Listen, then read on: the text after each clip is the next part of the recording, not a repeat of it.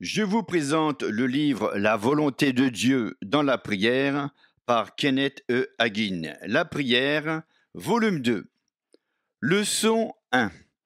Les six choses les plus importantes dans la prière. Première partie. Écriture, Jean 16, versets 23-24. Marc 11, versets 24 à 26.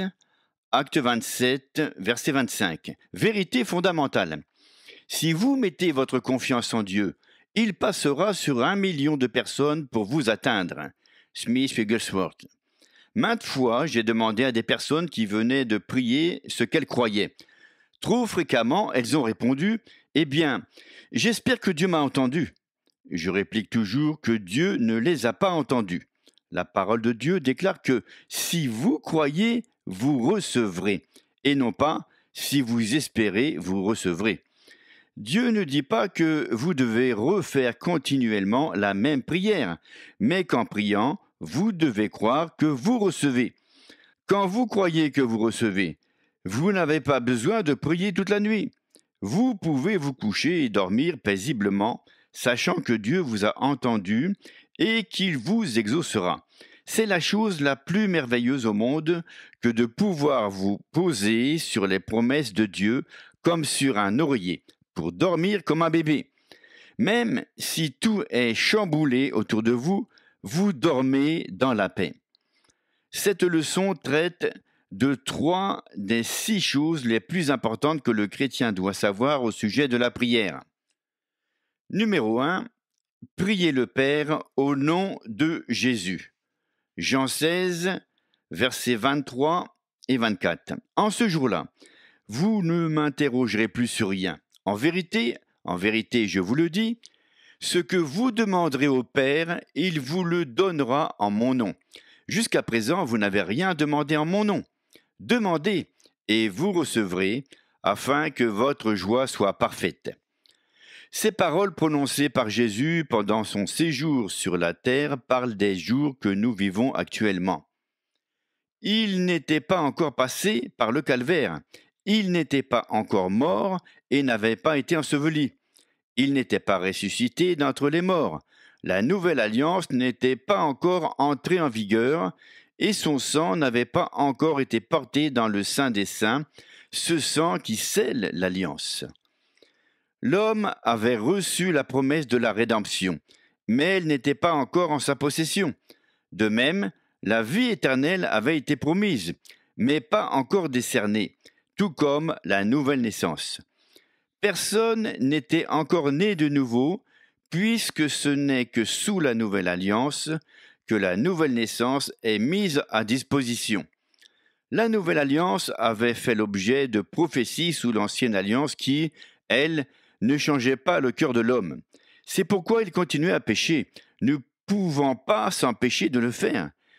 Certains des plus grands personnages de l'Ancien Testament péchèrent et, après avoir été pardonnés, recommencèrent à pécher, parce que leur nature et leur cœur étaient foncièrement mauvais. Leur péché était seulement couvert. Mais Dieu promit dans sa parole qu'il ôterait ce cœur dur et qu'il nous donnerait un cœur nouveau. En Ézéchiel 11, verset 19, il déclara qu'il nous animerait d'un esprit nouveau. Cela ne devint possible que sous la nouvelle alliance. En Jean 16, versets 23 à 24, Jésus déclara à ses disciples qu'après sa mort au calvaire et sa résurrection d'entre les morts, on devait prier le Père. Pour être également correct, il faut prier le Père au nom de Jésus. Nous ne sommes pas censés prier Jésus. C'est son propre enseignement. Les disciples demandèrent à Jésus, pendant sa vie terrestre, de leur apprendre à prier il leur enseigna le Notre Père que nous appelons la prière du Seigneur.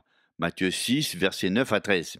Mais cette prière ne se conforme pas au Nouveau Testament, car elle ne demande rien au nom de Jésus.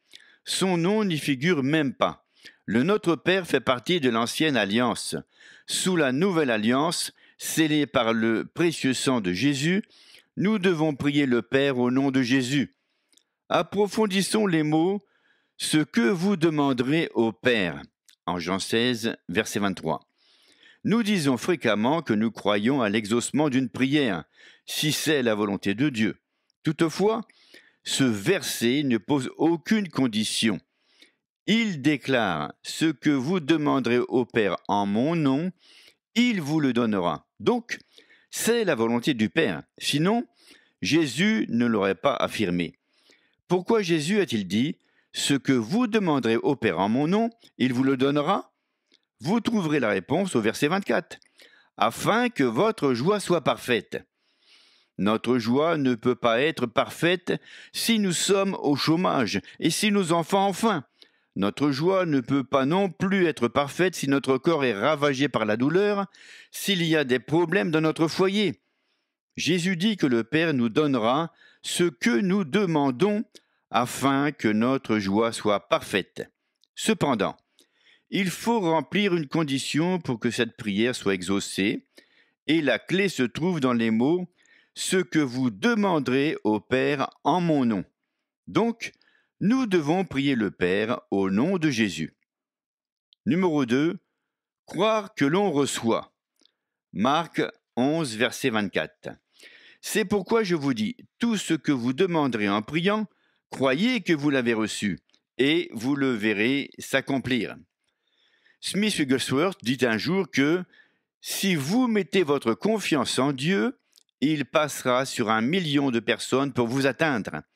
Dieu est un Dieu de foi, et nous sommes les enfants de foi d'un Dieu de foi. Il agit selon les principes de la foi. Nous sommes sauvés par la foi, car c'est par sa grâce que vous êtes sauvés, par le moyen de la foi. Et cela ne vient pas de vous, c'est le don de Dieu. Ce n'est point par les œuvres, afin que personne ne se glorifie. Éphésiens 2, versets 8 et 9. Nous marchons par la foi et non par la vue. Dieu entend la prière de la foi. Le Seigneur dit que vous aurez ce que votre cœur désire si vous croyez que vous recevez en priant. En premier lieu, vous devez croire. La plupart des gens veulent recevoir avant de croire, mais cela doit se faire dans l'autre sens. Avant tout, il faut croire. Je suis persuadé que si les gens arrêtaient de répéter sans cesse les mêmes prières et se mettaient à remercier Dieu pour l'exaucement, la réponse viendrait sans délai. Mais ils persistent dans l'incrédulité. Si quelqu'un fait la même requête à plusieurs reprises, cela implique qu'il a prié dans l'incrédulité la première fois.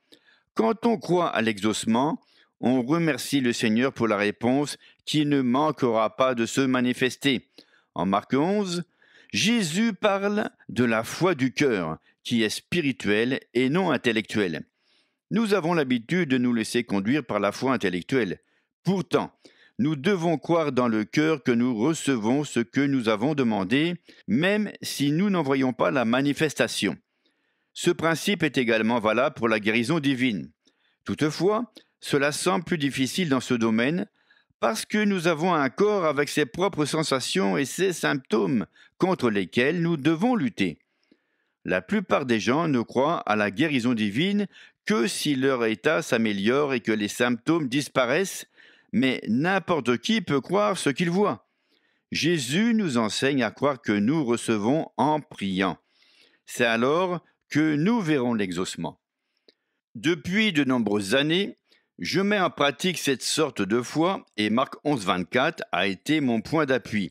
Je l'ai expérimenté dans ma propre vie en priant pour ce que mon cœur désirait, croyant que je recevais. Ce principe n'est pas seulement valable pour la guérison, mais également dans tous les autres domaines de la vie. Quel que soit votre besoin matériel, spirituel ou financier, c'est le moyen pour recevoir. Smith Wigglesworth dit que certains sont prêts à abandonner la partie s'ils ne sont pas exaucés instantanément.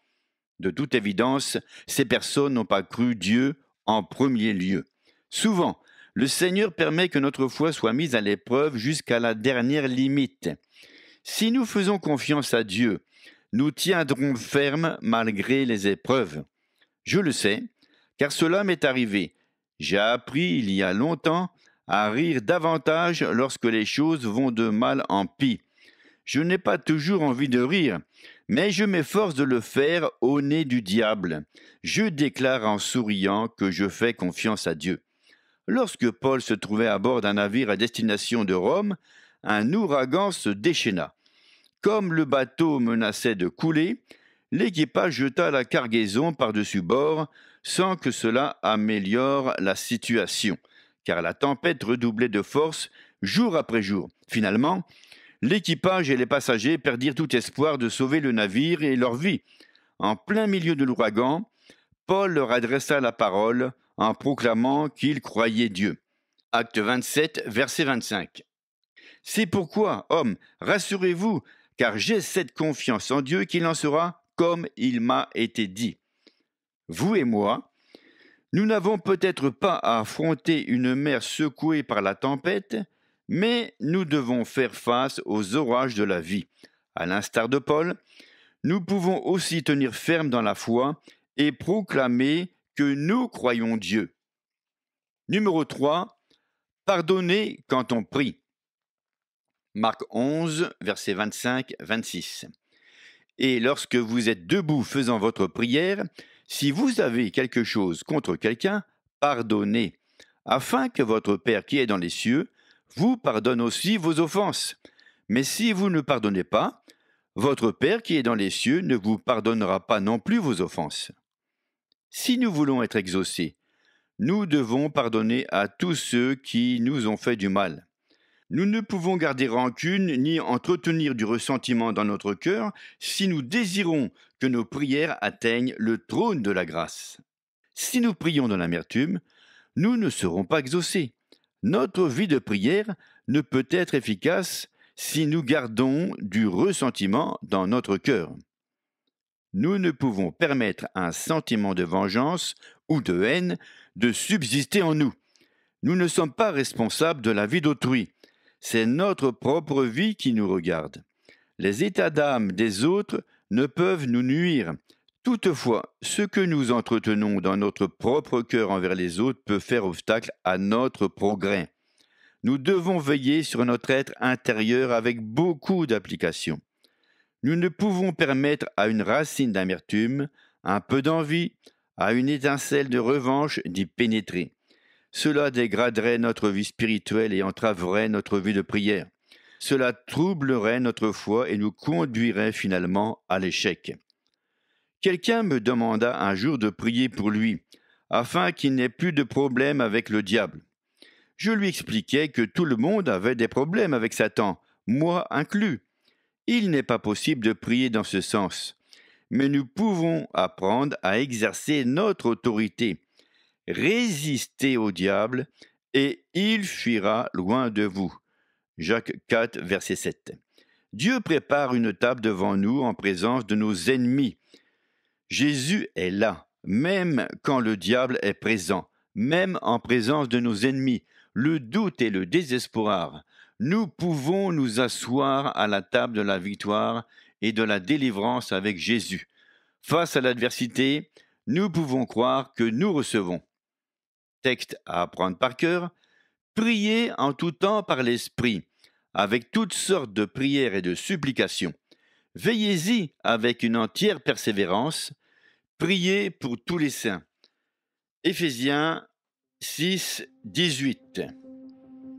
Merci de penser à vous abonner, de partager avec votre entourage le chapitre de ce livre sur la prière.